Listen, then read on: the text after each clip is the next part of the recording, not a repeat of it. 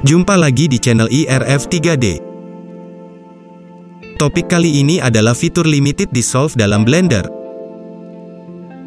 Secara singkat, fungsi dari fitur limited dissolve adalah untuk menyederhanakan struktur sebuah mesh di Blender.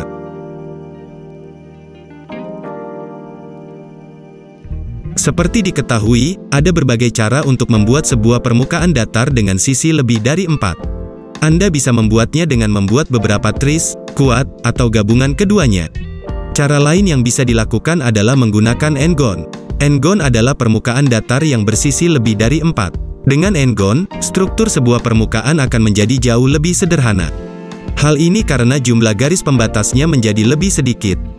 Dibandingkan jika permukaan tersebut dibentuk dari beberapa permukaan bersisi tiga maupun empat. Struktur mesh yang sederhana akan memudahkan dalam memilih atau mengedit permukaan tersebut. Namun masalahnya, jika Blender mengimpor sebuah bidang datar dari SketchUp, yang muncul adalah bidang datar yang dibentuk oleh beberapa permukaan bersisi tiga yang lebih kecil. Hasilnya, selain struktur permukaan mesh tersebut tampak lebih rumit, jumlah garis dan permukaannya pun akan menjadi lebih besar.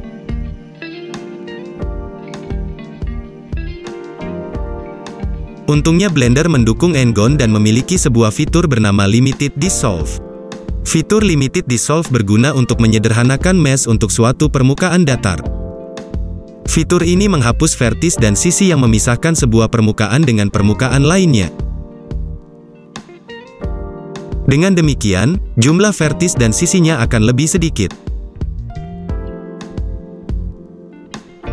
Kedua objek yang digunakan sebagai contoh tersebut seluruhnya merupakan hasil impor dari SketchUp melalui add-on SketchUp Importer. Fitur ini dapat diakses dalam edit mode, melalui menu Mesh, Delete, dan fitur Limited Dissolve ada di sini. Kita sudah melihat bahwa Limited Dissolve dapat menyederhanakan struktur mesh di Blender. Namun adakah hal-hal yang harus diperhatikan? Yang perlu diperhatikan adalah tentang pemilihan delimit parameter yang tepat.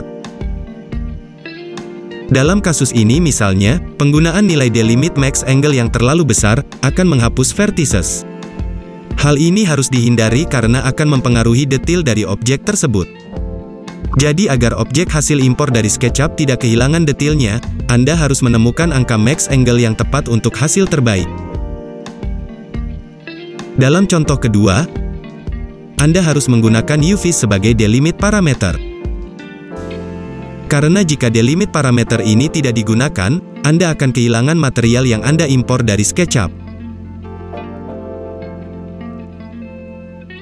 Jadi, jika Anda memerlukan penyederhanaan mesh hasil impor dari SketchUp, Anda dapat menggunakan fitur Limited Dissolve ini. Namun jangan lupa untuk menggunakan delimit parameter yang tepat untuk mendapatkan hasil terbaik.